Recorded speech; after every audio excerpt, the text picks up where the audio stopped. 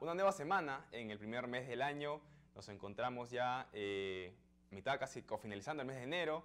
Y bueno, como siempre, el Poli TV trayéndole las noticias más relevantes y más recientes del mundo polideportivo. Y bueno, ahora vamos a empezar. Eh, bueno, para contarles un poquito qué vamos a tener en el programa hoy día, ¿no? Primero vamos a presentarle una entrevista, ahora les comento sobre quién nos estamos hablando, y luego vamos a tener una entrevista, eh, otra entrevista pero en vivo, vía enlace Zoom con tres eh, paradeportistas que nos van a comenzar, eh, conversar un, un, tema muy importante que está sucediendo actualmente y bueno, para que estén atentos al programa. Bueno, vamos a empezar, como les decía, con una entrevista. Tuvimos la oportunidad de conversar el último fin de semana con una, eh, para decirles, ¿no? Una ex voleibolista ganadora de muchas medallas a nivel olímpico, a nivel sub-20, sub-18 y que ahora eh, bueno, se encuentra en, otra, en otro momento de su carrera porque ha cambiado de disciplina, eh, está próxima a participar en un torneo de físico-culturismo, eh, que hablo del Miss y Mr. Lima, que se va a desarrollar este fin de semana aquí en la capital. Y bueno, vamos a ver de quién, nos habla, de quién estoy hablando para, para que ustedes este, puedan conocerla un poquito más y hemos hablado con ella un poquito extendido de cómo va su, su vida, su carrera y que actualmente tiene un nuevo trabajo, bueno, ya hace un buen tiempo tiene un trabajo aparte de su eh, carrera deportiva, ¿no? Entonces, vamos a ver con, de quién estamos hablando, vamos con el video. Vivian, ¿qué tal? ¿Cómo estás? Buenos días. Eh, bueno, ahora actualmente te encuentras entrenando en este gimnasio, eh, preparándote para lo que se viene el, el siguiente fin de semana. ¿Qué nos puedes decir sobre ello? Sí, así es, ya la última semana, la más fuerte, la verdad. Este, ya una semana donde solamente tenemos que ver algunos detalles. Eh, igual sigo entrenando un montón porque obviamente este torneo que es el Miss y Mr. Lima va a estar eh, bastante competitivo. Vienen varias chicas, no solo de acá de Lima, sino también de provincia.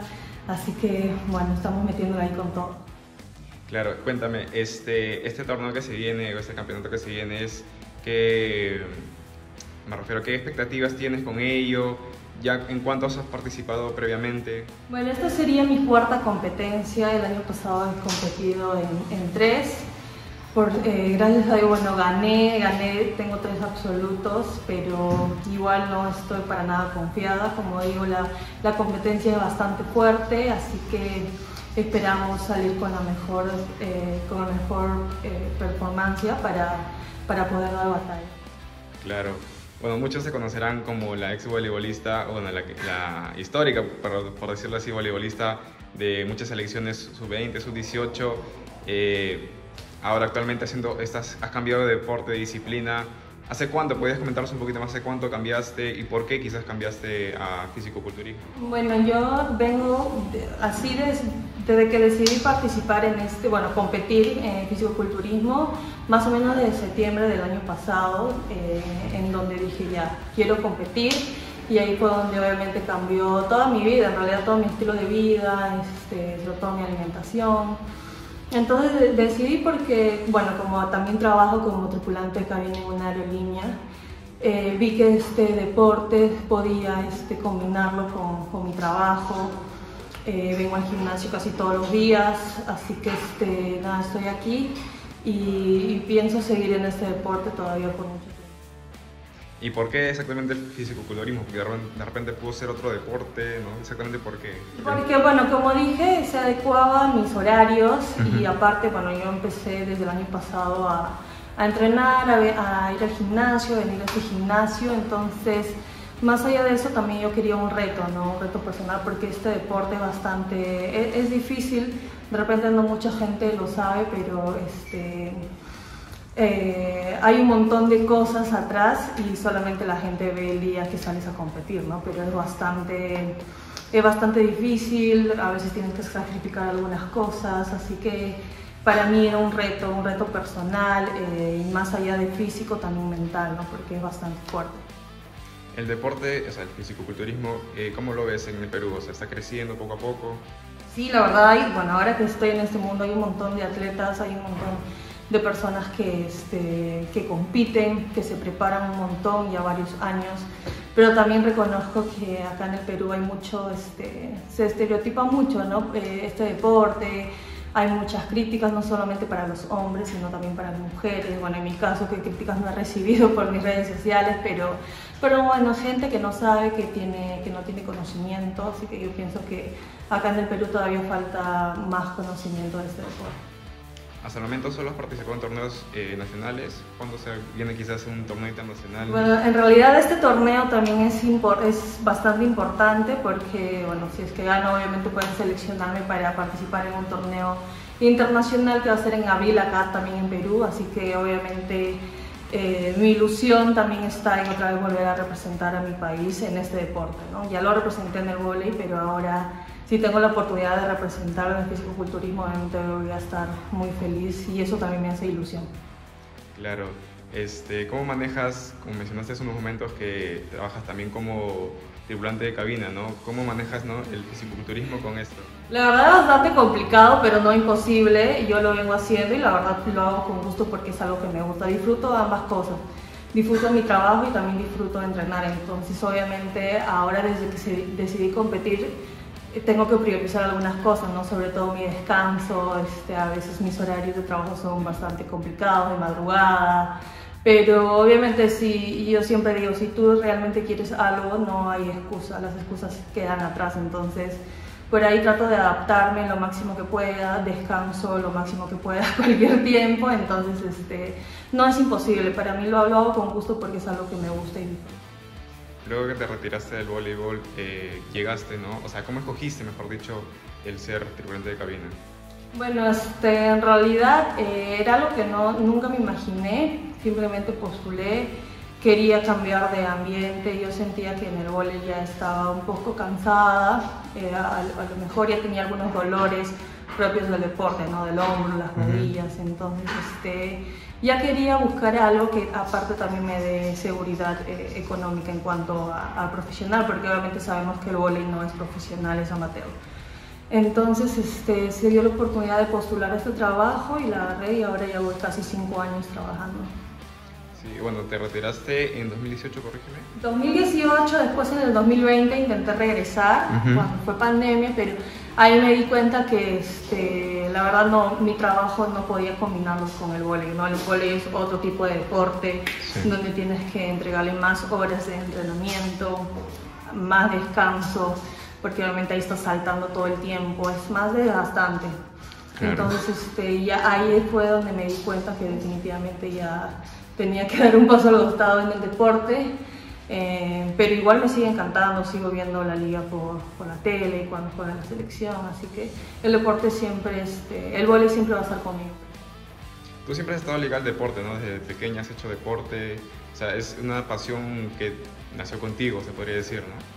Sí, así es, bueno, desde chiquita obviamente mi mamá jugaba cuando era adolescente, entonces lo que me cuenta mi mamá es que siempre yo, a mí, yo estaba con una pelota de vóley, ¿no? Hasta en mi casa, cuánto desastre no he hecho, he roto focos, caños, por estar con la pelota de chiquita, pero sí, siempre me ha gustado y bueno, también cuando vivía en Rioja era mi sueño estar en la selección, lo cumplí.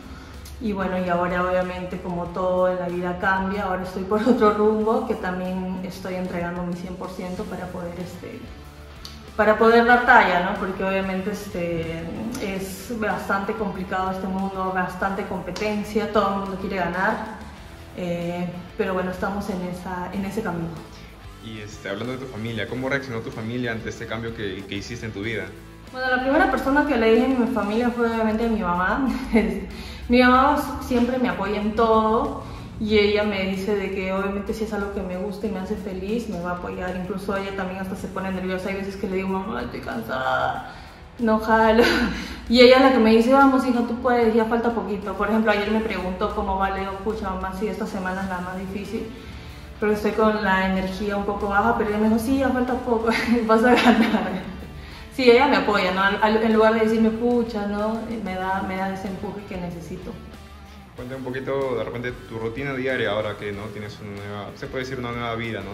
Este, con el el de cabina y ahora lo Bueno, la verdad, este, para venir a entrenar sí o sí obviamente depende de mi horario de trabajo, ¿no? Por ejemplo, el lunes que me toca volar tengo que estar en el aeropuerto eso de las 9 de la mañana, 9 y media, entonces vengo a entrenar a las 5 de la mañana, porque obviamente son más o menos hora y media, dos horas de entrenamiento, entonces yo tengo que calcular. Eh, por ejemplo, el lunes, ¿no? Vengo de 5 a 7 aproximadamente, llego a mi casa, me baño, me cambio, para esto ya dejo todo listo, solamente llego, me cambio, como, me recoge la movilidad y voy a volar. Entonces, este Obviamente si no me da tiempo de hacer mi cardio, que tengo que caminar y ahí eh, hago mi cardio llegando al lugar que me toca ir, ¿no? Por ejemplo, el lunes me voy a Los Ángeles, ya llego y ya hago una hora de caminar. Mencionabas que también eh, a raíz del voleibol y de las lesiones que tenías, ¿no? es una de las razones por las que te retiraste. Y ahora en el fisiculturismo, ¿no te afecta un poco este tipo de lesiones? La verdad es que no, porque como es un entrenamiento especializado, o sea, dirigido a ciertos músculos, la verdad no he tenido ningún problema. Por ahí algunas veces que se me inflama la rodilla, pero nada grave, me pongo hielo. Por suerte, obviamente, toda mi, como todo mi vida hecho deporte, sé más o menos cómo manejar algunos dolores, pero no he tenido los mismos dolores que tenía cuando jugaba volei, ¿no? que era cuando el hombro me, me recontradolía ya para matar, llevar el brazo atrás siempre me dolía. Incluso me habían dicho que como tengo el hombro un poco atrofiado, siempre voy a vivir con ese dolor, así que ah, me dolía demasiado hasta que ya esté completamente caliente, ¿no? Y, igualmente con las rodillas. Pero en este deporte no, eh, hasta el momento me va bien, espero seguir así porque obviamente también sé que nadie es este, invencible, ¿no? Obviamente también algunas personas se lesionan, pero, pero igual siempre tratar las dolencias a tiempo para que no aumenten. Cuéntame un poquito sobre este Mister y Miss este, que se viene para ti. ¿Tú eh, participas como un, club quizás o, como Vida en Bahía? Eh, no, tengo un coach que me, que me asesora, entonces obviamente si es que te, piden a quién estás representando, bueno, voy en representación al, al, team, al team al que pertenezco, ¿no? que es Yojo Fit. Entonces, este, obviamente dicen mi nombre, no vive en Bahía, viene de, de, tal team, entonces así son este, las competencias. Y cómo, coméntanos un poquito cómo, cómo se desarrollan las competencias, cómo es el, por dentro, ¿no?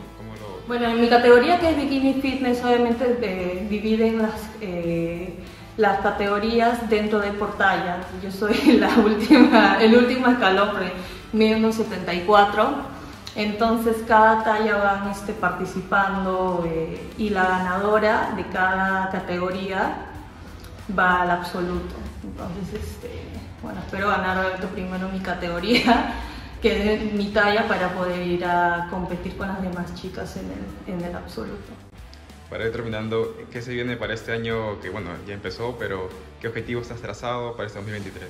Bueno, en cuanto a lo deportivo, el primero, o mi primer objetivo es este Miss Mister de Lima.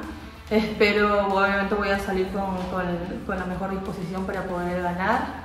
Y si por ahí me, seleccionan para representar a mi país en algún torneo eh, internacional, igual como siempre voy a dar mi 100% porque como dije anteriormente, me hace ilusión representar a, mi país en este deporte. Este, y eso paso a paso, en realidad, en cuanto a lo deportivo, paso a paso, en, cuanto a lo profesional, que es mi trabajo, como siempre, disfrutar lo que hago, me gusta eh, y obviamente tener un, buen, este, una buena evaluación al final del año. ¿no? Claro. Listo, Vivian, muchas gracias por la entrevista. Un gusto saber por hablar, contigo. Ya, gracias a ustedes. Bueno, y espero que vayan a apoyarme en, el, en mis libros.